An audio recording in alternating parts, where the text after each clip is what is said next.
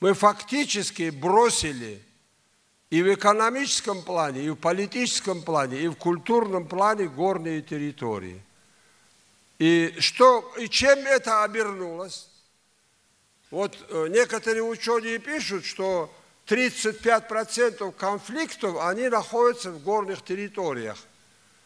Вы понимаете, в свое время, в свое время дагестанцы по-братски приняли Ермолова. И он даже пишет отчет царю, что я встретил в Дагестане в горах самое доброе отношение к русским и так далее.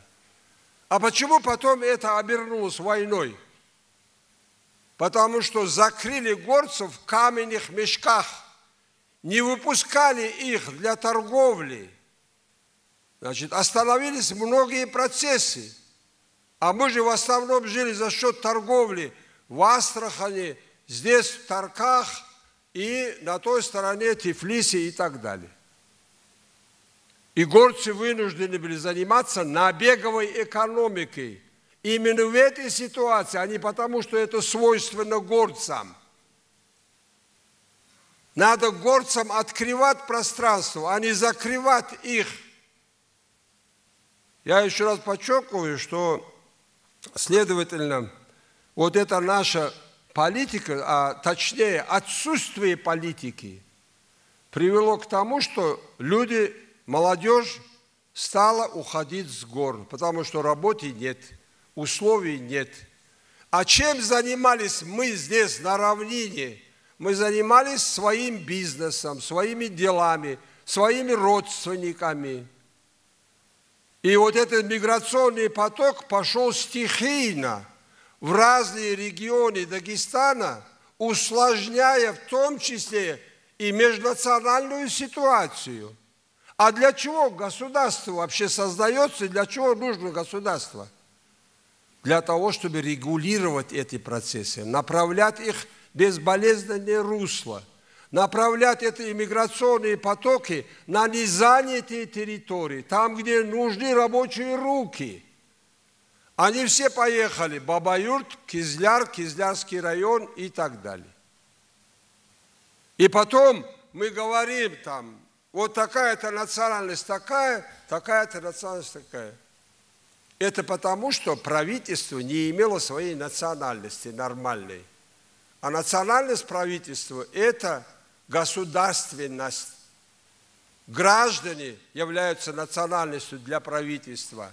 И надо было эти вопросы регулировать, и надо было этими вопросами заниматься, а не наваливать на людей все это проблемы в куче – Поэтому мы должны выстраивать, даже если поздно, и сегодня эту политику э, обустройства людей, но при этом не, не усложняя жизнь тем, которые уже проживают в этих местах, в этих районах. И при этом надо понимать, что равнина живет во многом за счет ресурсов гор – 90% водных ресурсов в мире люди берут с горных территорий. Если кто-то будет выступать против горцев, мы оставим без воды. Приятно это кому-то будет? Нет. И многие другие вопросы экологии, экологии зависят от горных территорий, от горных территорий. Поэтому мы ставим сегодня задачу, но эта задача была поставлена еще Рио-де-Жанейро, когда проводился саммит по экологии. И многих международных организациях этот вопрос ставился. Мы став, должны ставить вопрос об устойчивом развитии горных территорий.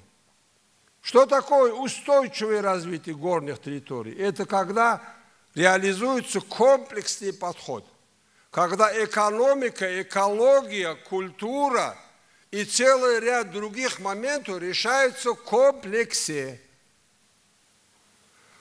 Вот наша программа развития горных территорий, которую мы приняли позапрошлом году, такие ориентиры есть, хотя программа пока примитивная, потому что нет ресурсов для реализации по-настоящему. Но объявляя год гор в Республике Дагестан, мы ставили задачу обратить внимание на этой проблеме, потому что это в интересах нашего государства, это в интересах наших народов. Еще раз приветствую всех на горном форуме и желаю творческой, продуктивной работы. Спасибо.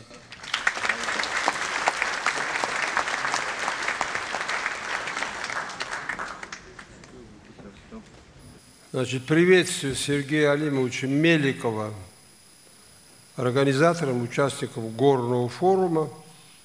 Приветствует, считает, что это очень важное мероприятие и указывает, что из 41 районов значит, 30 горные, и не случайно республика стала местом проведения этого форума – говорит о том, что надо заниматься бизнес-проектами, строить дороги, заниматься образованием, здравоохранением, то есть обеспечивать все сферы жизнедеятельности горных территорий. От всей души желаю вам, уважаемые коллеги, успешной, плодотворной работы. Меликов.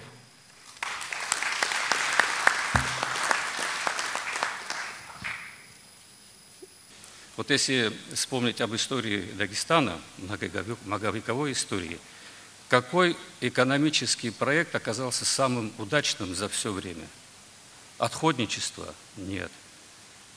Электростанции – великое творение социализма, которые построены в 20 веке. Вне всякого сомнения, это величественный труд. Но я думаю, что все-таки самым успешным экономическим проектом за всю историю Дагестана – было террасное земледелие, горы.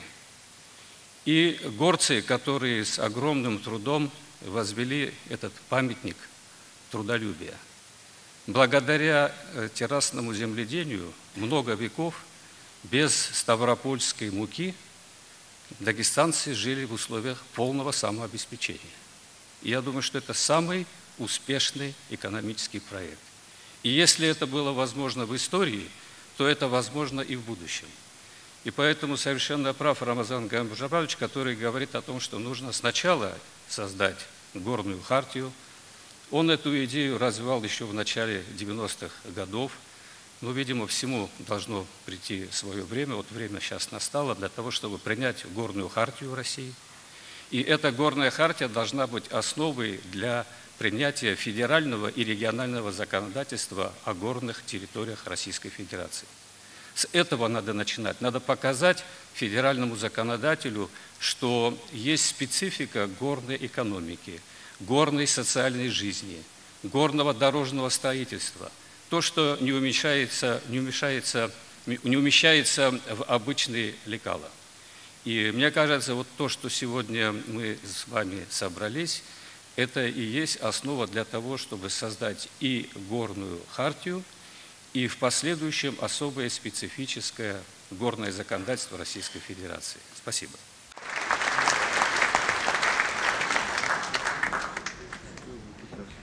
Развитие малого и среднего предпринимательства, поддержка предпринимательства в горах. Нами на республиканском уровне приняты все необходимые нормативно-правовые акты. Это предоставление каникул двухлетних. Если предприниматель вышел из тени или впервые зарегистрировался в производственной, социальной и научной сферах. Это и ограничение проверок, или вообще отсутствие как таковых. Но и, конечно, средства, которые выделяются по линии Минэкономразвития Российской Федерации, в прошлом году мы выделили порядка 63 миллионов рублей, в текущем году предполагается, что эта сумма будет в разы. Уважаемые Рамазан Гадимураевич, Лев Владимирович, мы должны понимать и понимаем, что бюджеты горных территорий, они высокодотационны. При этом нами проводится огромная работа по актуализации объектов капитального строительства, земельных участков, расширяем налогооблагаемую базу, занимаемся снижением неформальной занятости. Да, это бюджет. Но в то же время мы должны понимать, что лучше, чем глава поселения, никто не знает, у кого какой автотранспорт, заплатил ли он за этот транспортное средство, транспортный налог или нет. Мы обратились инициативой в Федеральную э, Государственную Думу Российской Федерации о том, чтобы передали транспортный налог на уровень местный. Это позволило бы в том числе решать вопросы местные наших поселений. Конечно... Ясно. Раз народ хлопает... Да, и заканчиваю, Рамазан Гадимирович. Конечно, все эти меры, которые принимаются руководством республики, не найдут логического завершения, если не будет качественных государственных муниципальных услуг. Это и образование, это и здравоохранение, это и вообще оказание услуг в электронном виде. И вы знаете, что во всех наших райцентрах, в том числе и горах, мы построили многофункциональные центры. Самое главное – развитие территориальной системы населения, расселение, природные условия, образ, порядок, культура жизни народа в России и проживающих в горах на современном этапе представляет собой очень сложный и проблемный клубок. Мы подготовили на ваше рассмотрение проект федерального, концепции федерального закона о горных территориях Российской Федерации. И, кстати, сам закон тоже готов у нас. Мы не рискнули его сегодня раздать, а проект у вас.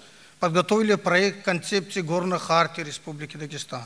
Сегодня будет подписано соглашение с Русским географическим обществом. И все это даст хороший положительный импульс для развития наших горцев, горных территорий и так далее. Но хотел бы обратиться – если эти наши инициативы не найдут продолжения в федеральных органах исполнительной власти, конечно, в первую очередь Министерство экономического развития Российской Федерации, и думаю, что Минкавказ нас также поддержит, то это останется только в Дагестане. Пользуясь тем, что у нас федеральный министр, хотел бы еще раз сказать то, что сказал здесь Ираидуль Адакадьевич – отсутствие фактически четко обозначенной региональной политики в государстве. Если была бы региональная политика и было бы Министерство регионального развития, не надо было создавать отдельные министерства по Криму, Кавказу и так далее. Региональная политика – это учет всех особенностей регионов и собирание страны. Почему нет политики рационального размещения производительных сил по регионам. Каждый строит, что попало, независимо от того, что рядом есть или нет. Вот я приведу один пример. Мне его не всегда поддерживают, говорят, не приводи, но я приведу его. Южный Тироль. Горная территория на севере Италии. Притом на границе между Австрией и э, Италией, где последние сто лет – шли после Первой мировой войны постоянно конфликты, связанные все-таки чья это территория, независимость и все остальное. Еще в 90-е годы, поверьте, там ситуация была катастрофическая. Площадь 7 э, тысяч квадратных километров, проживает полмиллиона человек. 10% только может быть вовлечено в хозяйственный оборот, остальное все горы – Правительство сегодня, это часть Италии, автономная республика, приняло закон, что 90% налогов, которые зарабатываются на территории, оставляются в регионе. Коллеги, знаете, какой у них бюджет собственный? 400 миллиардов рублей. 400 миллиардов они зарабатывают в таких же условиях, в которых мы с вами живем. Мы что, хуже? Поэтому иногда, может быть, не надо далеко смотреть, высоко с гор, туда куда-то. А нужно посмотреть, почему мы этим не пользуемся. Сегодня есть отраслевая программа развития сельского хозяйства.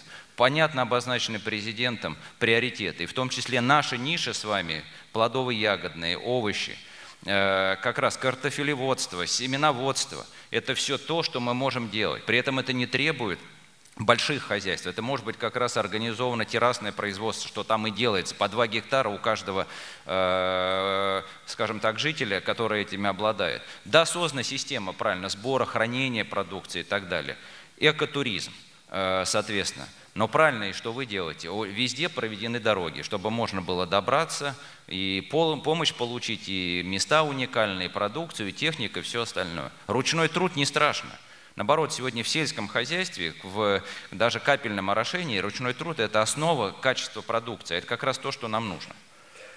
Поэтому вот э, очень часто мы почему-то смотрим далеко, не видим, что рядом.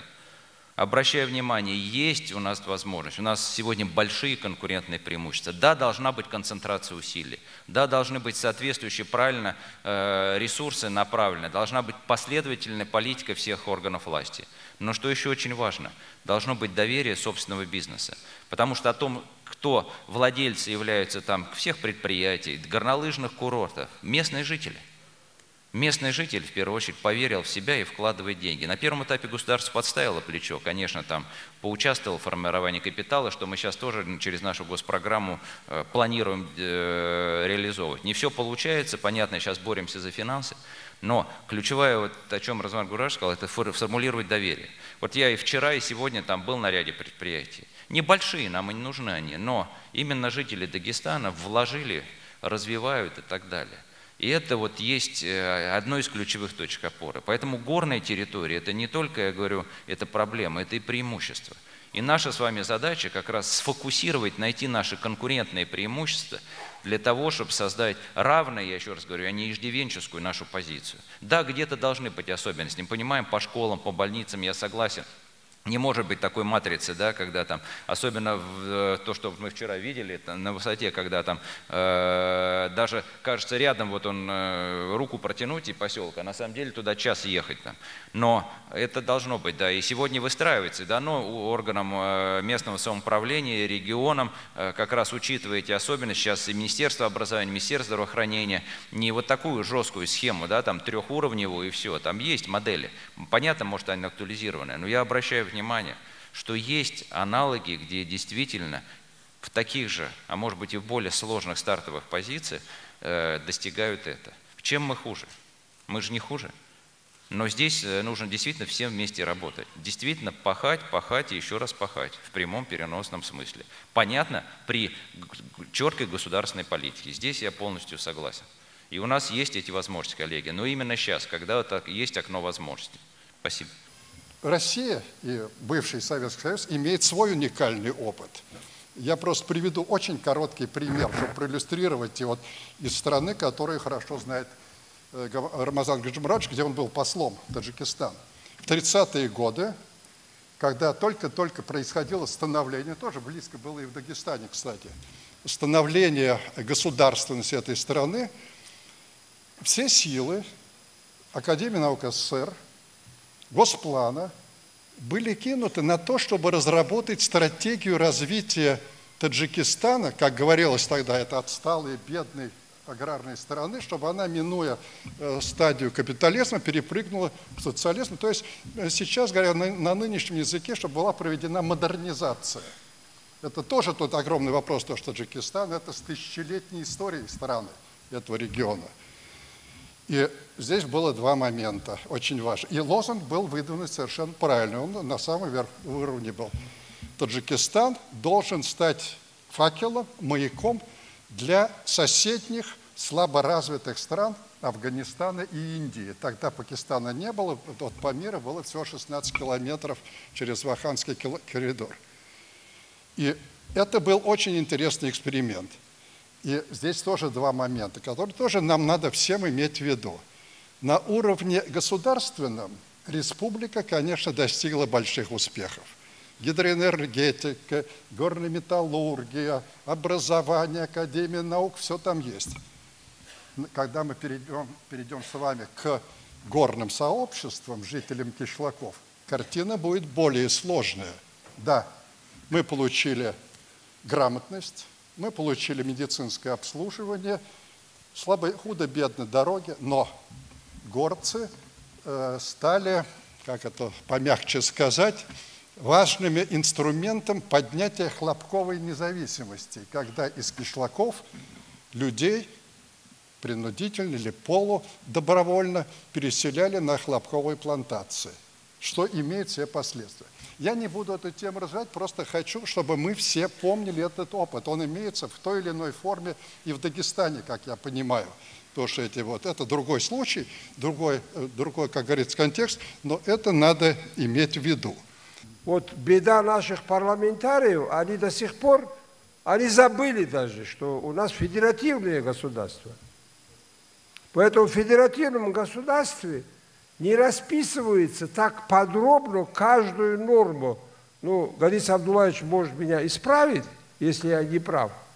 То есть федеративное государство в большей степени определяет общие принципы, а регионы должны конкретизировать с учетом, потому что в Алтае, Туве и в Дагестане разные горы, разные условия сохранения горных территорий и традиции развития тоже горных территорий разные. Поэтому к вам просьба, чтобы вы не уезжали из Дагестана, работали вместе с нами. Хорошо, я в Курош, я готов Да. перебраться. Да. Спасибо. Ну, мы знаем, затраты, собственно, в экономике рассматриваются как издержки, в бухучете как себестоимость. Но смысл, он, в общем-то, один.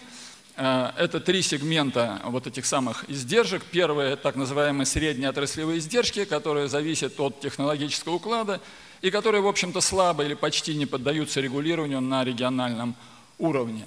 А Вторая часть, второй сегмент этих издержек – это те факторы удорожания, которые связаны с природно-климатическими, э, географическими, э, историко-культурными и другими факторами, ну, применительно к горным территориям. Это, конечно, прежде всего рельеф, общая зажатость экономики, э, доп. издержки, связанные с развитием транспортно-коммуникационного э, комплекса, энергетики и так далее.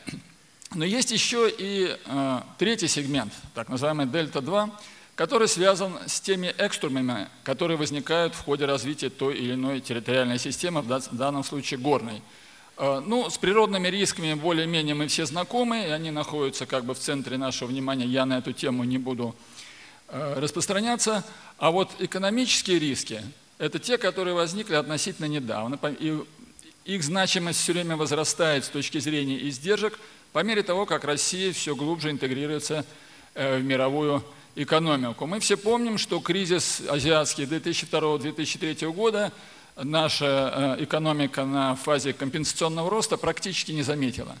Кризис 2008-2009 года, вот эти 5-7-летние циклы, он ударил уже существенно больше.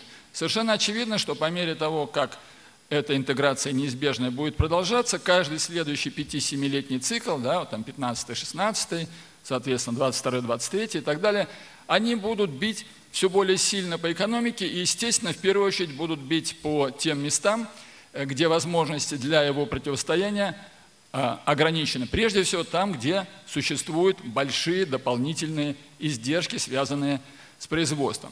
В принципе, в общем-то, мы знаем, что государство более-менее занимается сферой, связанной с представлением бюджетных э, услуг, регулируя эти издержки через э, межбюджетные трансферты. В принципе, мы знаем, что в ряде регионов, скажем, вот, э, о которых говорилось, скажем, Республика Алтай или Тува, там э, уровень жизни населения регулируется через зональные коэффициенты, но все время остается в тени, собственно говоря, бизнес, та самая сфера нашей жизни, которая и формирует те предпосылки, которые обеспечивают саморазвитие, обеспечивают возможность решения всех э, других э, задач. В чем же, собственно говоря, пафос моего выступления? Значит, он заключается в том, что, конечно, мы можем построить дороги, мы можем построить линии электропередач, мы можем э, построить предприятия или помочь их построить. Но главная проблема, как обеспечить их конкурентоспособность вот при этих гораздо более высоких издержках, чем на равнинных территориях, не говоря уже о городах с их высокой концентрацией всей социально-экономической инфраструкту- инфраструктуры. И здесь, э, мне кажется, не вдаваясь в подробности э, вот тех э, вычислений, которые мы проводили и исследования в этой области, в принципе, э, могли бы рассматриваться э, три сюжета. Первое – это, конечно, субсидирование для хозяйствующих субъектов вот тех самых дополнительных издержек, той самой дельты-1 в совокупных издержках, которые возникают ну, в силу вот природных обстоятельств, которые не зависят от организационных способностей, от иных способностей бизнесмена. Вторая – это конъюнктурные риски, ну и природные риски, которые в горах также более чувствительны в силу специфики этой территории. И здесь э, нам представляется, что э, нормальный инструмент – это страхование. Страхование Э, и эти два инструмента позволяют нам существенным образом компенсировать издержки хозяйствующих субъектов, связанные с ведением бизнеса в горах. И тогда для них как бы снимается проблема, что надо идти глубоко в горы. Сменяя, уменьшается соблазн работать на побережье, а не идти в горы. Но, разумеется, а, мы нашу необъятную родину знаем, а, конечно, а, и субсидирование хозяйствующих субъектов – и система страхования невозможны, если эти хозяйствующие э, субъекты Очень. не будут принимать условия добровольной сертификации. Добровольная сертификация сегодня, по сути дела, то, без чего невозможно выйти на мировой рынок, а я думаю, в общем, пройдет не так э, мало времени, судя по тому, что делается в нашем правительстве, и в Российской Федерации, на российские рынки тоже, э, так сказать, будет все труднее выходить без этой сертификации. И это, конечно, тоже должно поддерживаться, потому что сертификация – это довольно э, затратная процедура, но зато процедура, которая дает, э, на наш взгляд, наибольший э, эффект. Ясно. Спасибо за внимание. Ясно. Уважаемый человек, тоже подключайтесь к общей работе, будем очень рады. Да, и я обращаюсь Значит, здесь должна быть делегация из Чечни, из э, значит, Осетии, наверное, есть, из Алтая Горного, из других регионов.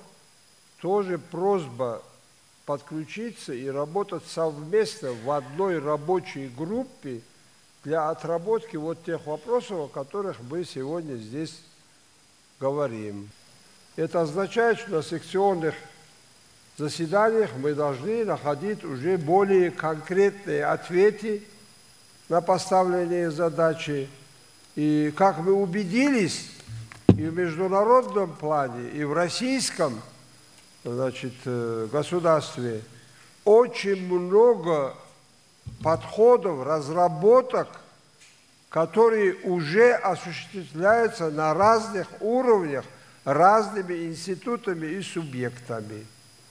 Следовательно, наверное, пришла пора компоновать все это и выдавать продукцию.